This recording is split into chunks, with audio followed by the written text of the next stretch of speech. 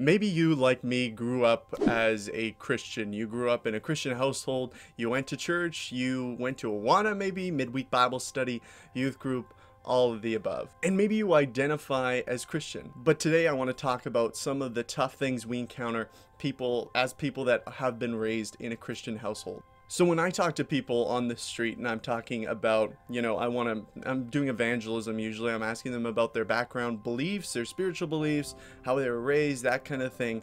A lot of the time it'll come up that they've maybe been raised as a Christian, right? And then when I ask them, hey, how, how do you get to heaven? What is what is the point? How do you get there?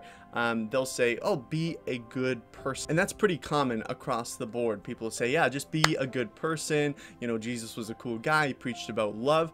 And, you know, we're just supposed to try to be nice and good people. Eventually, our good will outweigh our bad and we'll go to heaven. Well, there's a big problem with that message because that has been one of the big messages put across, um, you know, Christian culture. Um, a lot of young people, maybe 15 years old onwards, they just became in, disinterested with Christianity. They become disinterested with church. You know, church music isn't as cool as secular music, and church, you know, Christian movies aren't as cool as secular movies, and and and the Christian belief isn't as cool as like Buddhism or or whatever agnosticism or atheism. It's just more cool. You can be good other ways, so they just move to other beliefs. And on the surface, this doesn't sound like a terrible thing because, after all, if Christianity is just about being a good person, who's to say that you can't be a good person as a Buddhist and a good person as an atheist and a good person as an agnostic? But the biggest problem is, is that's not what Christianity is about. You see, a couple things have happened here. Not only have we not, as people that have been raised in Christian households, a lot of us have not taken on the faith of our parents. We haven't made it our own. We just kind of tagged along until the point where we decide, look, there's something more cool, more interesting to pay attention to. And also, what has happened is actually there hasn't been a clear understanding of what the gospel message truly is and what the Christian message truly is because if there was that understanding then we would say hey look it's not just about being a good person it's actually about this idea of repentance and faith. It's about jesus coming to this earth fully god and fully man to live a sinless life a life we could not live to die on the cross a death we deserve to die for our sins against god. He died and taking the penalty for our sins against god. We don't talk about sin. We don't talk about repentance. We talk about oh you know what? This is how you can live a better life. These are three ways that you can, you know, be have better, more fulfilling relationships, but we don't talk about the law of God and we don't talk about the gospel. And because we don't talk about that stuff, people are leaving the faith, young people are leaving the faith because there's nothing to hold on to.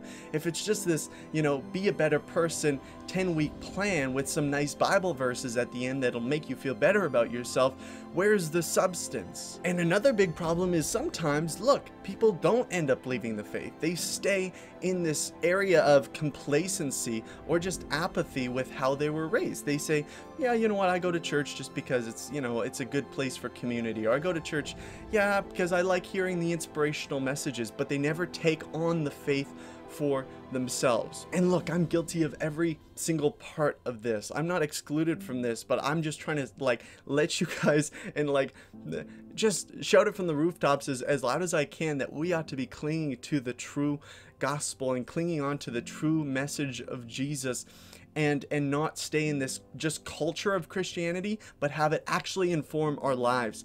Ray Comfort said something amazing one time. I, I, I, it really moved me and impacted me. Ray Comfort once gave this analogy, the difference between believing in Jesus and putting our faith in Jesus. Imagine you're in an airplane. You're about to jump out. This is a crazy, scary thing a lot of people have like jumping out of an airplane or skydiving on their bucket list, and it's very dangerous sometimes. I don't know, depending. But in this case, you actually have a parachute, but it's sitting next to you, and you say, oh, look, I believe that parachute exists. I believe that it could save me. I believe that it is, you know, nice and it, it is great, whatever. But if you're jumping out without putting that parachute on, you're dead, right? And so now what we're called to do is put that parachute on, put Jesus on. And what happens then in that moment when we trust in Jesus, when we repent for our sins, we are justified. This idea of being made right with God. And that's not out of our own doing. It's not like we deserve that. It's not like we work to earn that. No, that's a complete gift of God to us. And when we're indwelt with the Holy Spirit after justification, we are then put on this process of sanctification by which we are being made more and more like Jesus. That doesn't mean we don't sin, we definitely do, but it's about direction, not about perfection. And my concern is this is that you may consider yourself a Christian right now. Maybe you've grown up in the church, you've grown up in a Christian family, you've known about this Jesus guy, that's great, that's great.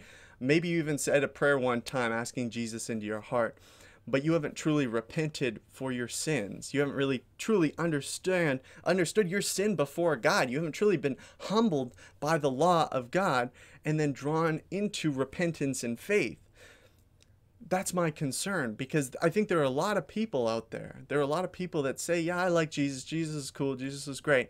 But they have these two conflicting ideas like, "Yeah, Jesus died on the cross for my sins, but I'm also need to be a good person in order to get to heaven." Like that's not true. We we we can't be good enough to earn our way to heaven. And also, we're not born Christians. Nobody's born a Christian. If somebody says, "I've always been a Christian," that's not true. That's not true because it's not just about what family you were born in and what their beliefs were it's not some group mentality where you can say, oh, you know, my parents believe, so yeah, that's kind of my thing too. No, you got to take it on as an individual because ultimately you're going to be accountable before God. Some people say, hey, look, I'm, I'm not that bad. You know, uh, everybody sins. It's no big deal. But think about this. You're standing in front of a judge and you've done some wrong things and you say, hey, look, but there's lots of other criminals out there, judge. Just let me go. It's no big deal. No, he wouldn't be a just judge because he has to prosecute each individual. He doesn't just let you go because that's what everyone else does. No, we're each going to be accountable before God. And that's my hope for you is that you would understand that, that God would draw you to himself into a place of repentance and faith, and that you would not stay in just apathy of living in Christian culture or just saying that you're Christian just because that's what all your friends do, but you would truly understand your sin before God and you would come to a place of repentance and faith because ultimately that is the message. That is the most important thing that you will ever hear. It's not, look, this is how you can make more money. It's, this is not how you can have better relationships. It's how can you be made right with the God of the universe? How can you have a relationship with Him because He wants a relationship with you? And how can you have eternal life in Him? Like it's the most amazing gift ever. The fact that we didn't earn it, but it's a gift anyway. Thank you so much for watching guys. Pass this video on to a friend who needs to hear it. I think we need this message in our culture nowadays that it's not just enough being a cultural Christian or having our parents be Christian, but we need to take it on our selves. Subscribe down below because I'm putting out new videos every single Thursday. Um, it is an exciting thing. I love putting out videos. I love making content for you guys. And thank you so much for you who are on the Daily Disciple Club on Patreon. Um, amazing group of people on there that support my mission in spreading the gospel and helping people follow Jesus daily. So if you want to help me help if you want to help me do that um, you can sign up down below sign up to become a daily disciple club member and support me on a monthly basis. Thank you so much for watching guys. I hope you have a wonderful week and i'll see you next time. Bye